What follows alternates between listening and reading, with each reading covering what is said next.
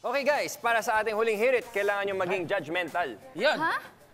Oo. Parang hindi ko ata kaya maging judgmental, Kuya Chris. Oo nga, layo sa akin nun. Don't worry, hindi naman tao ang i-judge natin. Hindi si Rodville ang i-judge mo. Don't worry. Ay, sige, sige, buti na lang, buti Kundi na itong lang. artwork na ito. Okay? At ito na ang aking tanong. Mhm. Kailangan nyo sagutin. Okay?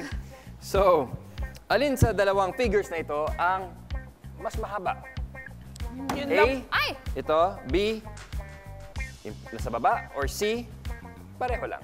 Ano ba, Kuya Chris? Hindi na kailangan sabihin judgmental. Okay. Kasi judge na judge, itsura pa lang, yung baba, Baba, pinakamahaba. baba.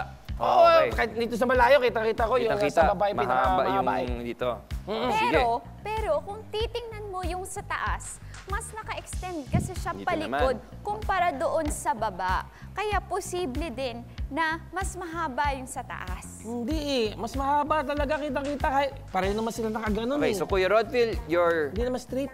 ang iyong ah, guess ay baba. Kay Myrtle, Sa taas. taas. Yeah, yeah, yeah, yeah, Sukatin natin. Alright? Unahin natin yung sa ibabaw. Aha. Hmm, sakto siya, oh. Ay, sakto. Sakto, di ba? Yung isa Aba. bitin yan. Try natin sa baba.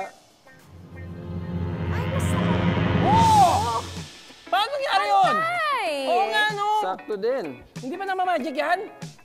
Hindi ko angat, oh. Pantay na pantay yung parehas. Pantay na pantay. So, guys, Grabe. ang tamang sagot ay letter C, which means pantay ang dalawa. It's actually an illusion.